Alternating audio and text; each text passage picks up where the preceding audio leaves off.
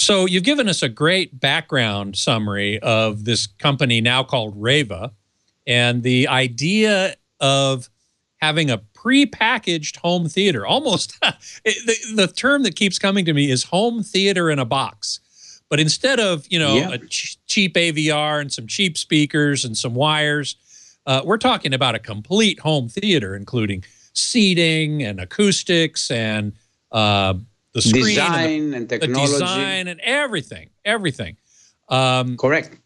And uh, it's it's really quite a remarkable idea, and I that's why I wanted to bring you on the show to talk about because you know for those of us who don't have unlimited funds to custom to have a home theater custom designed, this is I think uh, quite an attractive alternative. Um, and so there are certain packages that you offer and certain floor plans that are sort of predetermined depending upon, you know, what what you've got to work with in the home that, that it's going to be installed in.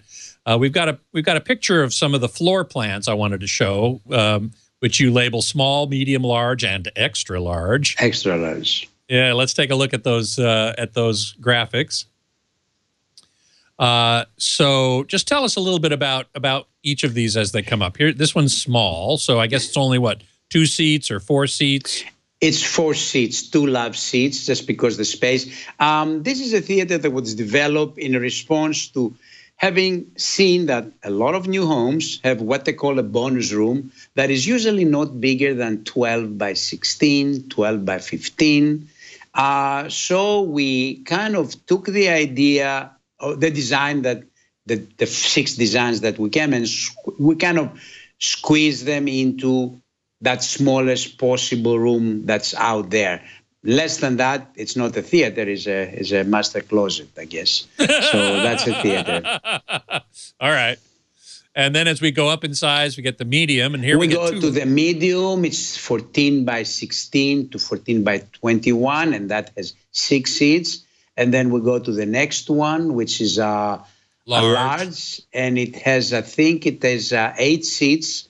Uh, and then we go to the extra large, which is uh, uh, how many seats? Ten seats? No, it, that's. It uh, looks like it looks like eight right there, but I bet you could fit ten, no problem. No, you can put five, ten seats. The idea is to create a pattern, a design that can be stretched to fit different size rooms without altering the design DNA. It's very similar to go, going to Bloomingdale's and buying an Armani suit.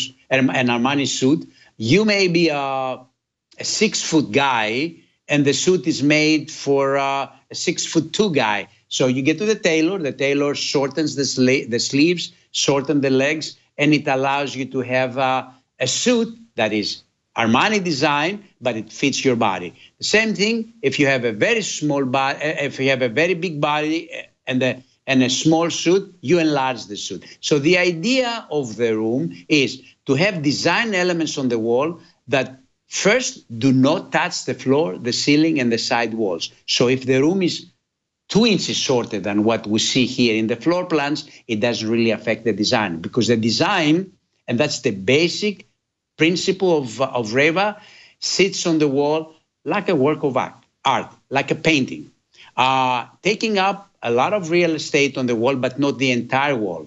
Uh, the design elements, which we're going to see a little later, are meant to perform three functions. A, to hide the surround speakers.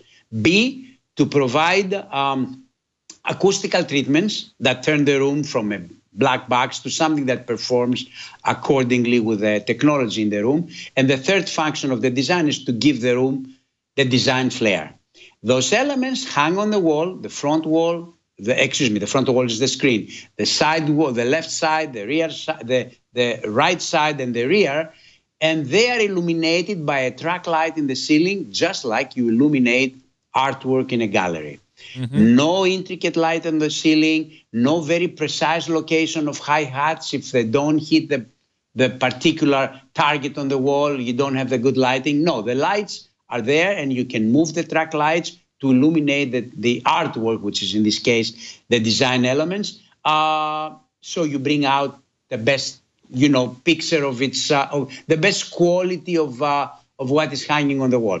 Now, mm Uh, these designs come in six, uh, not configuration of shapes, but in six design elements. We, uh, we created about 12, 13 designs, and I'll talk about them.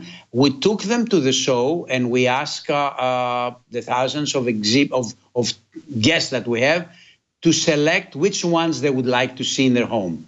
Uh, so we uh, we finalized a lineup with six designs, the ones that were voted most popular around, uh, by, by the by the builder community. Some of my favorite designs, well, I guess they were very ambitious, but they beat the dust. I had the design where the room was photographs of vegetables. What was I thinking of? zucchini and cauliflower and cucumbers.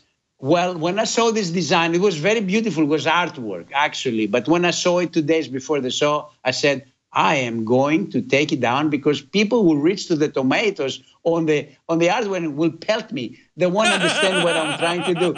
So anyway, what we left with were six designs, three of which are one of them is uh, abstract shapes that create like a visual geometrical uh, motif on the walls. The other design is uh, seascapes, uh, images. Well, let's, let's take a look at sea. these. Let's take a look. While you're, yeah, while yeah. you're talking uh, about you, them, let's take a look. This is, uh, uh, if you can see the, uh, this one is the third that I was going to discuss. The, um, my friend says, you know, you've done a lot of this. Why don't you do a, a, a wall with Theo's greatest hits. So I took pictures of my theaters from my books and I created panels that show highlights of the best work that I've done. So hmm. this is called theaters. Uh, let's see another one, and I'll tell you what the other ones are.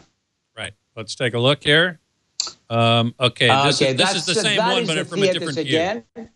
Yes. These are acoustical panels, actually. Uh, uh, this is a little. This is the other group of three. We could, the third, the second group of three are sports related. We have three sports: uh, baseball, football, and basketball.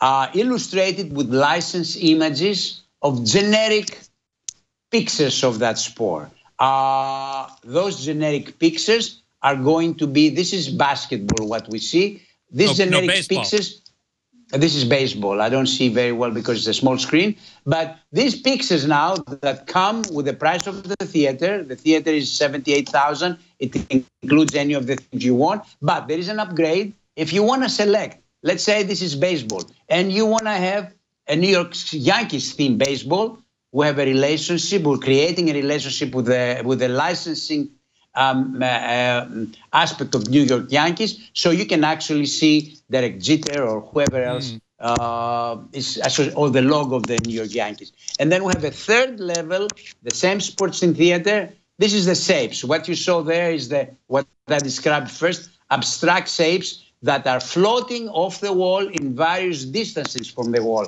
three inches, six inches, four inches, to mm. create a more dimensional uh, uh, uh, illustration on the wall. So it's not just photographs, but they're floating panels that give what my regular theaters have a sense of three dimensional dimensionality. Mm-hmm. So, so new theaters will be, uh, new themes will be added uh, every so often. This is the seascape. There's, you see elements of seat, umbrellas, uh, uh you know, uh, um, what do you have? Anchors, uh, yeah, sunsets, chains, that, that, kind of stuff. Yes, like this thing, corals. Uh, uh, come March, we're opening the designs of the room to competitions that will be conducting in association with CEDIA and ASAD, inviting young designers to come up with their own ideas.